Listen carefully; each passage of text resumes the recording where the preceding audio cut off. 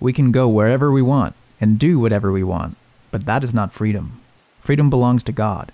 When a person is free from the tyranny of thoughts, that is freedom. When he lives in peace, that is freedom. He is always in prayer. He is always expecting help from the Lord. He listens to his conscience and does his best. We must not be at war with anyone, and never take any offense to heart. Let it be. Today we are offended by one person. Who knows who will offend us tomorrow?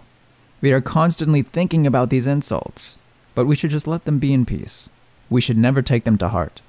When we do, the adversary will try to do it again. But if we just let the insult bounce off us and remain peaceful, then people will give up trying to offend us. And people will ask you, How come you are always at peace? Everyone else is nervous and easily offended, while you don't seem interested in this life at all. How did you become like that? How can you stay so calm? Well, that is how the Lord keeps us from harm.